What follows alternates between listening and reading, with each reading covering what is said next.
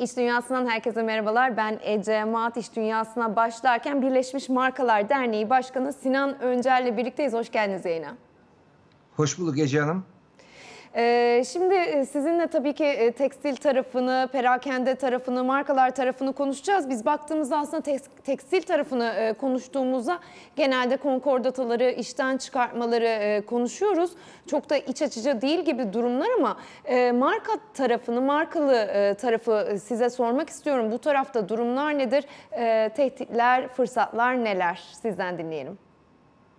Ece Hanım tabii ki özellikle ekonomideki soğuma ile beraber e, ve de maliyet yapılarımızın olumsuz şekilde bundan etkilenmesiyle beraber satışlarda önemli düşüşler kaydetmeye başladık. Haziran ayı anketimize baktığımız zaman her üç e, markamızdan biri satışlarının adet bazında bir önceki yılın aynı ayına göre veya bir önceki yılın aynı ayına göre geri geldiğini söyledi. Ha tabii bardağın dolu tarafında da 3'te 2'lik markada e, markada dedi ki benim işlerim geçen yıla göre daha iyi. Ama Haziran ayının şöyle önemli bir tarafı var. Babalar günü, okul tatili e, ve de e, yaz tatilinin başlangıcı olması sebebiyle biz önemli bir alışveriş hareketliliği beklerken markalarımızın üçte birindeki satış azalışı e, iyi yorumlanmadı doğal olarak e, fırsatlar nedir, tehditler nedir dersek tehditler tabii ki çok fazla maliyet artışları maalesef perakende sektörünü çok ciddi tehdit eder vaziyette. E, ve de e, evet döviz şu anda düşük seyrediyor ancak içerideki maliyet artışları turist alışverişini endişe verecek noktada düşürmeye başladı. Evet biz e, bir soğuma yapalım perakende de veya tüketimi azaltalım diye düşünürken turistlere de çok pahalı gelmeye başladık. O yüzden e, bir de Birleşmiş Markalar Derneği'ne üye 510 marka var. Bu yeme içme sektöründen elektroniğe, kırtasiyeden hediyeliğe, hazır giyime pek çok sektörü biz kapsadığımızdan e, buradaki nerede düşüş, nerede e, artış var çok net olarak görebiliyoruz. E, o yüzden e, bir Haziran ayı bizim artık bu e, soğumayı hissetmeye başladığımız e, ay olarak nitelendiriyoruz. Ekonomi yönetimi de zaten bundan sonra daha fazla hissedeceksiniz e, dedi bunu. E, İş Bankası Genel Müdürü de zaten yaptığı açıklamalarda hı hı. benzer açıklamalar yapıyor.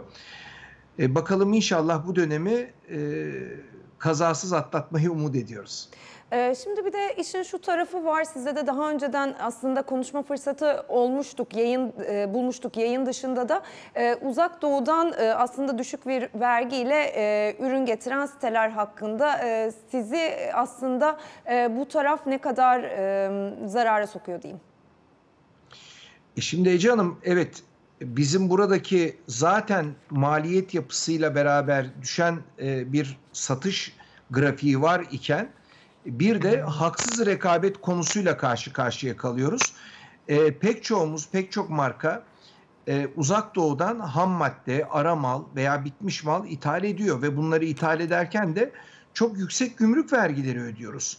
Gümrük vergisinin yanı sıra da çok ciddi sağlık kontrolleri prosedürü var ve bu prosedürler zaten çoğu zaman e, bize e, ikinci bir gümrük vergisi gibi e, depo masrafları yaratıyor, antrepo masrafları yaratıyor.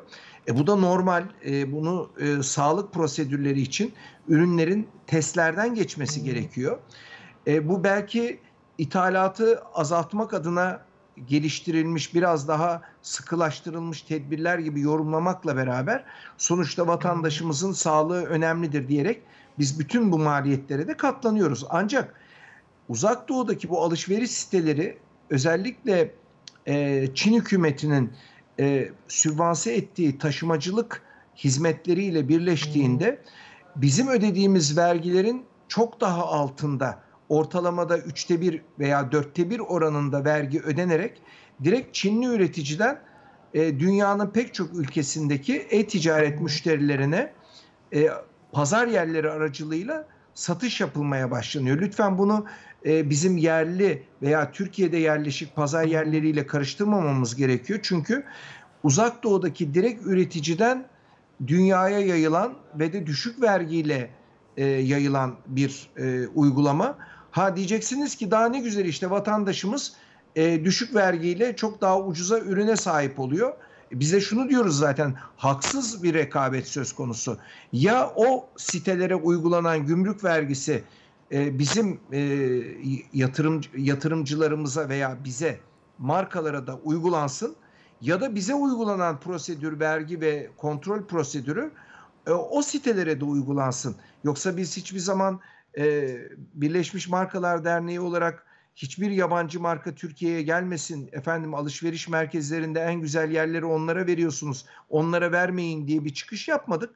Biz tam rekabet piyasası içerisinde eşit koşullarda rekabete zaten her zaman açık olduğumuzu söyledik.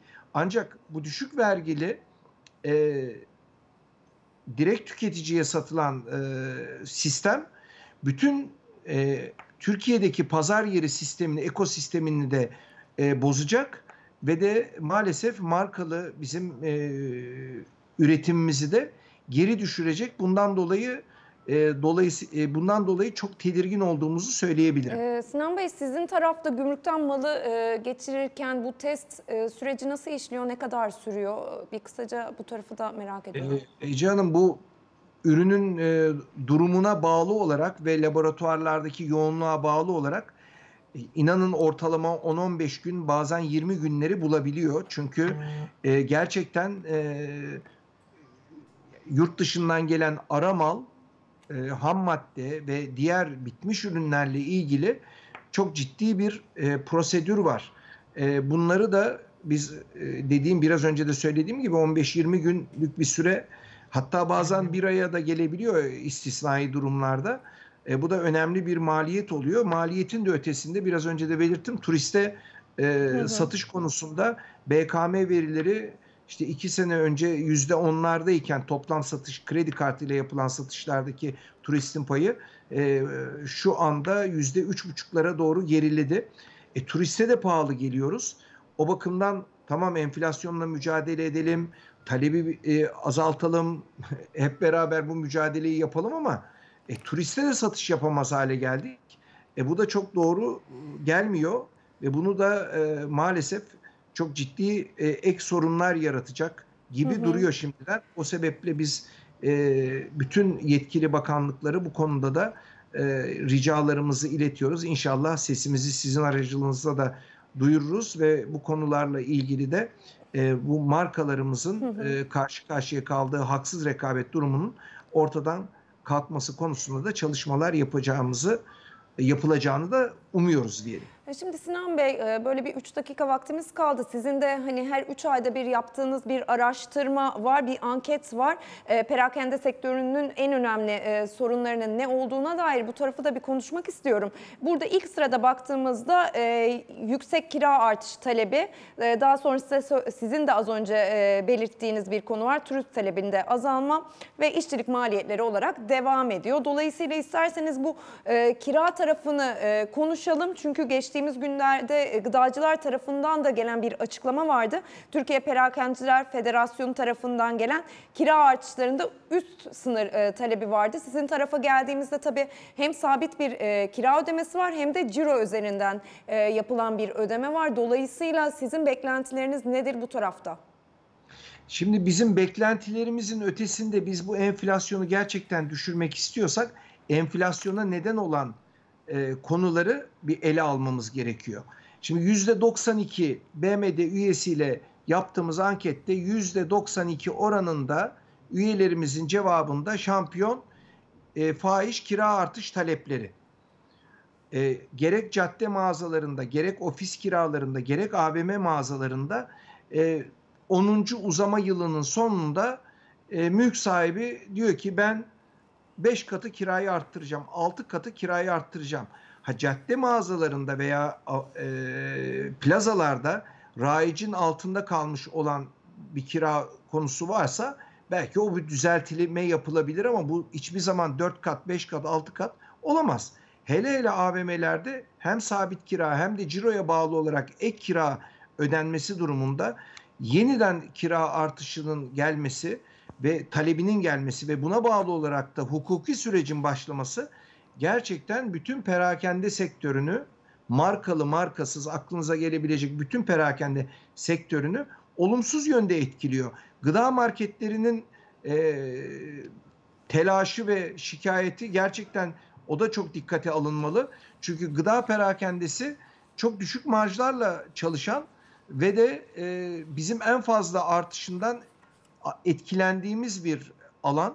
E, onların da özellikle cadde mağazalarında 4-5 kat kira artış talepleriyle karşı karşıya kalmaları maalesef gıda e, enflasyonunu da çok olumsuz yönde etkiliyor ve birbirine bağlı olarak ülkemiz bu enflasyon kıskacında e, kendini kurtaramıyor.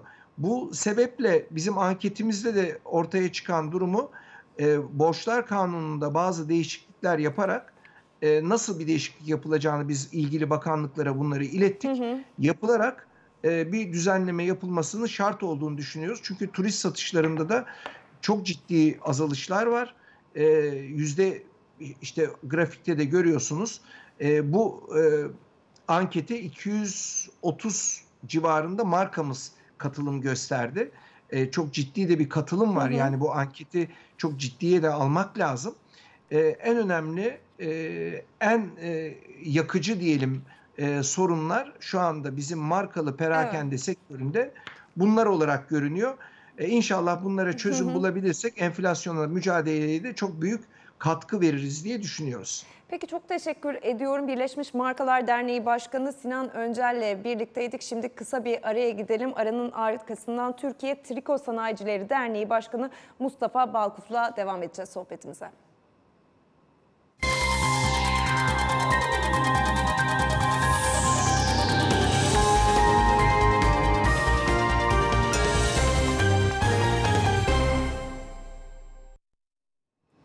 İş Dünyası kaldığı yerden devam ediyor. Türkiye Triko Sanayicileri Derneği Başkanı Mustafa Balkov'la birlikteyiz. Hoş geldiniz yayına Mustafa Bey. Hoş bulduk Ece Hanım. Teşekkür ediyorum davetiniz için. Ben teşekkür ederim. Şimdi e, isterseniz aslında e, triko tarafının birazcık üretim süreci, e, biz tekstil tarafını hep konuşuyoruz ama biraz daha farklı. Bu tarafı bir sizden dinleyerek başlayalım sonra ihracat tarafına geçeriz.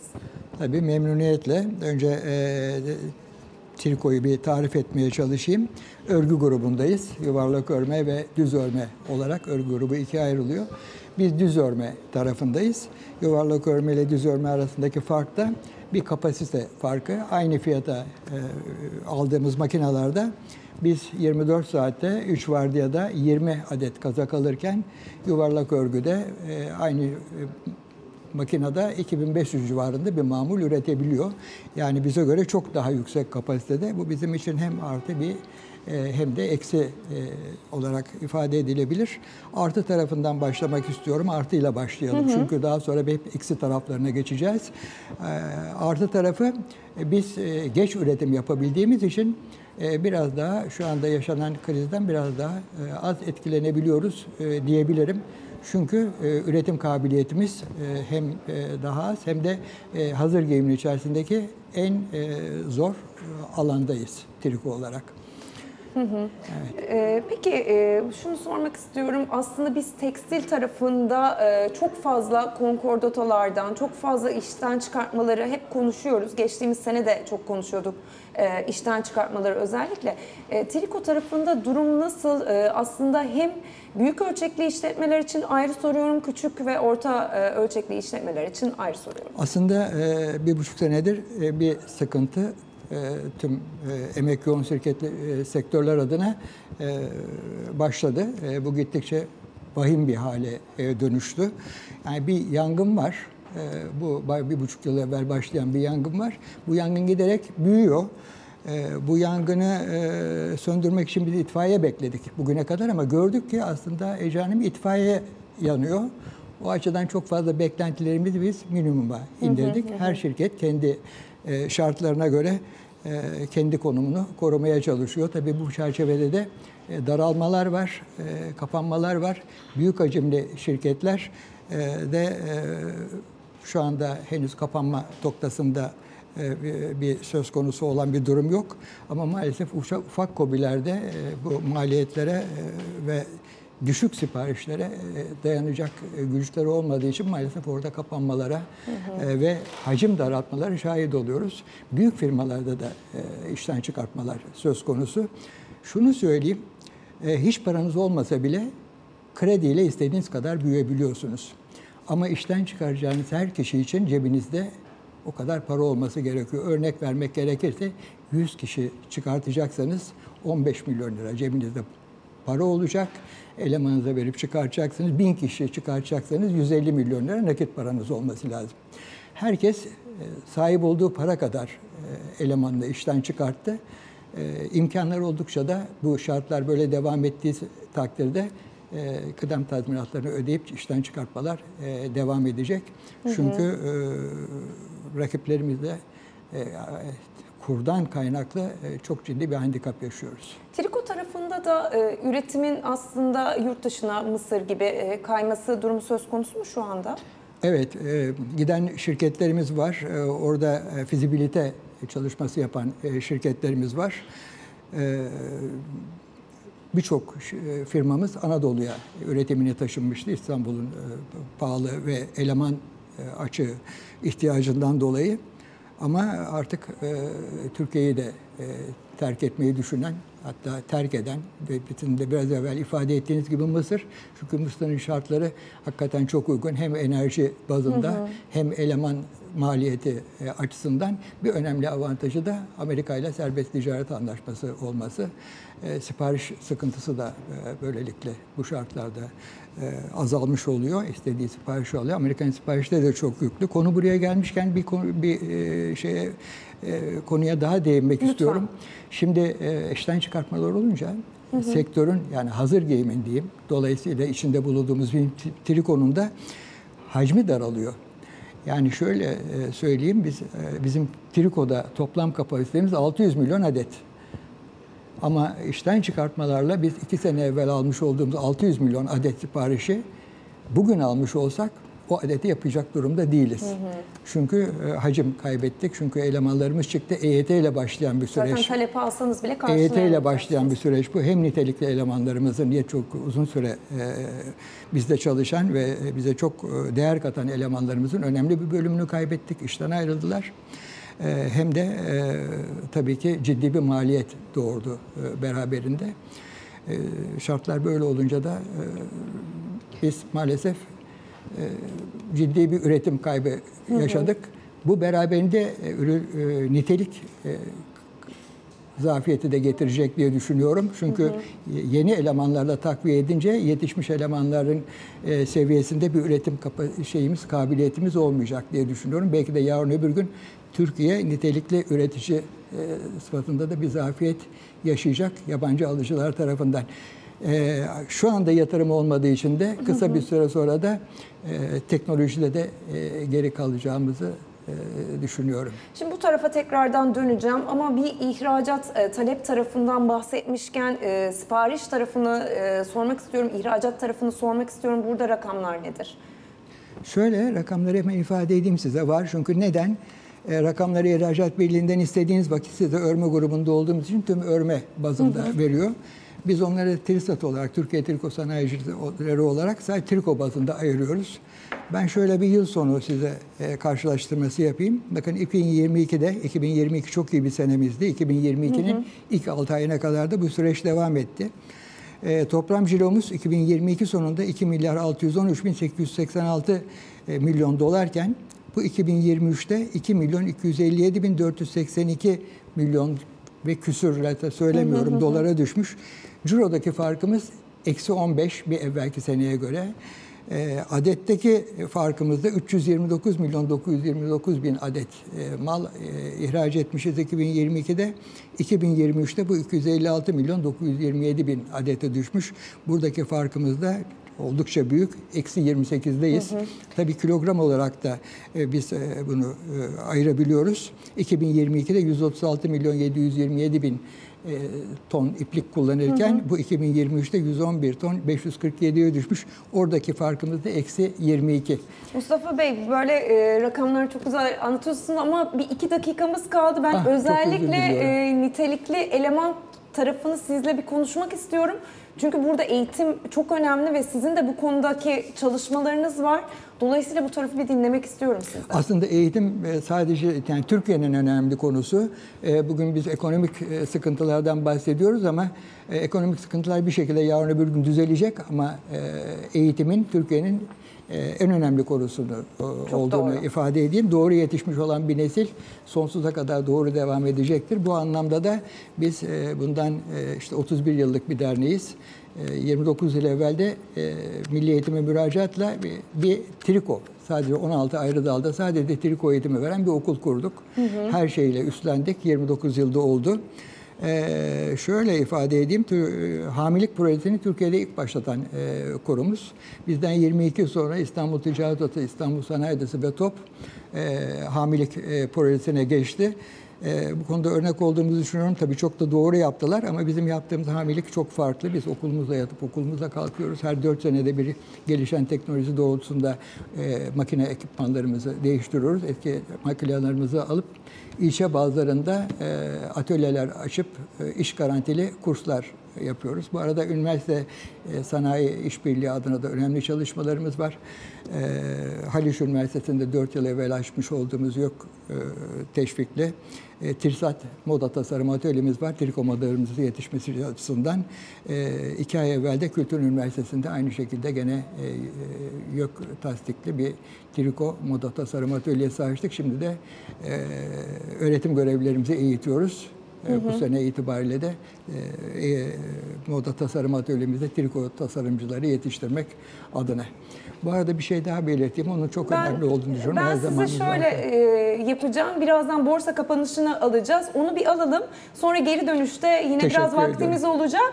Orada tekrardan sizle biraz Zaman daha e, devam edelim. Tamam, tamam E, şimdi. Borsa İstanbul'un kapanışını alacağız ve an itibariyle kapandı. Yüzde birlik e, bir hatta yüzde birin üzerinde bir düşüş var.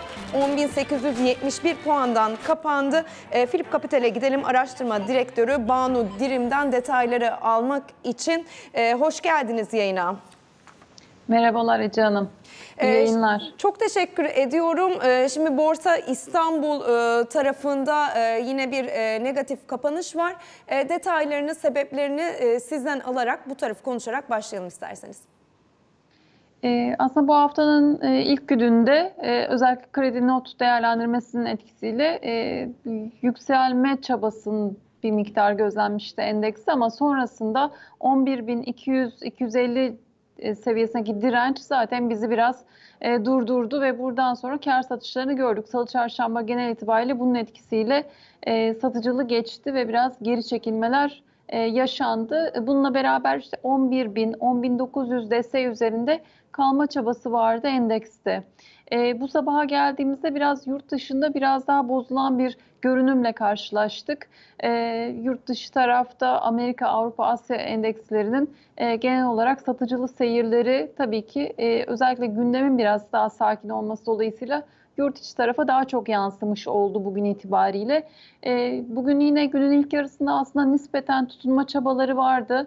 E, bankacılıktaki negatif seyre karşılık sanayi hisselerin, sanayi endeksinde nispeten daha tutunma çabası dikkat çekiyordu ama özellikle öğleden sonra e, bunun da artık e, güç kaybettiği ve e, direncin azaldığı görüldü. E, ve e, 10.900 e, seviyesinin de altına gelinmiş oldu. Burada teknik olarak da biraz zayıflama var diye söyleyebiliriz. E, bununla beraber biraz dikkat çeken bazı hisse bazı ayrışmalar olduğunu da söylemeden geçmeyelim. E, yurt dışında birçok aslında gündem var.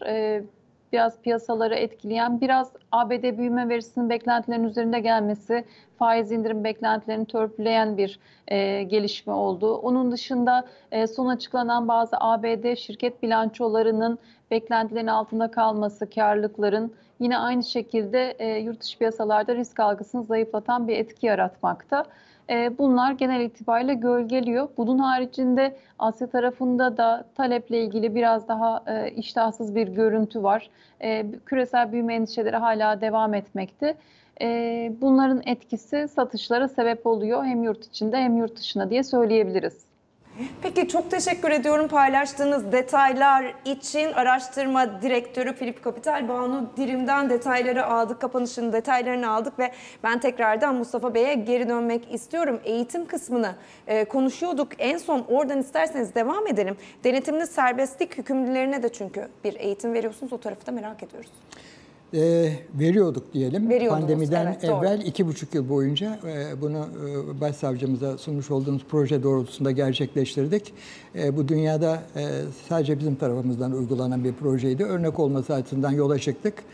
E, maalesef iki buçuk yıl boyunca da hiçbir yerden destek almadan, hiçbir kurumdan destek almadan iki buçuk yıl boyunca sabahtan öğlene kadar 25 kişiyi 4 saatlik çünkü kamu hizmeti olduğu için öğleden sonra da 25 olmak üzere toplam 50 kişiyi iki buçuk yıl boyunca iki usta öğreticinin de maaşlarını e, TRİSAT olarak ödeyerek devam ettirdik. Ama pandemi geldi. 500 kişiye yakın kişiyi de e, meslek sahibi yaptık, e, iş sahibi yaptık. Bizim gurur duyduğumuz bir faaliyetti. Ama pandemiden sonra devam edilmedi. Neden devam edilmedi bilmiyorum. Makinelerimizi çektik. Hem konfeksiyon bazında hem örme bazında eğitimi veriyorduk. Onları da e, diğer eğitim faaliyetlerimizde e, kullanmak üzere e, şu anda aktif olarak kullanıyoruz. Şu arada okula gelince 8 senedir de e, Türkiye'deki 18, İstanbul'daki 7 tematik okul arasına girdik. 16 ayrı dalda e, triko, sadece triko eğitimi veriyoruz. E, mezun bugüne kadar da 2500 civarında mezun verdik. Ama sadece biz mavi yaka yetiştirmiyoruz. E, önemli ihracatçılarımız var, gurur duyduğumuz. Bir örnek vermek gerekirse önemli bir referanstır diye e, söylemek istiyorum. Hem e, TRİSAT'ın yönetim kurulunda hem de İstanbul İhracatçılar, Hazır Giyim İhracatçılar Birliği'nin yönetim kurulunda. Okulunuzdan artık sadece okulumuzun mezunu, artık sadece e, sektöre değer katarak değil, ihracata yön veren mezunlarımız olduğu adına da bunu e, gururla paylaşmak istedim sizinle. Ee, şimdi çok kısa bir vaktimiz kaldı. Sizin son bir söylemek istediğiniz varsa bir birkaç cümleyle toparlarsanız Teşekkür sevinirim. ediyorum bu zamanı da verdiğimiz için.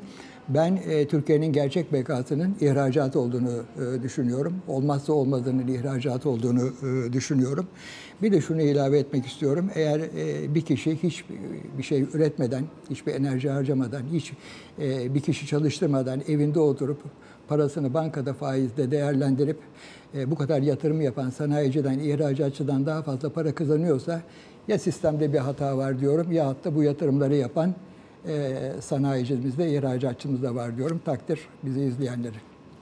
Peki çok teşekkür ediyorum yayınımıza katıldığınız için. Ee, Türkiye Triko Sanayicileri Derneği Başkanı Mustafa Balkuv'la birlikteydik. Böylelikle iş dünyasını noktalıyoruz. Yarın tekrar görüşmek dileğiyle efendim. Hoşçakalın.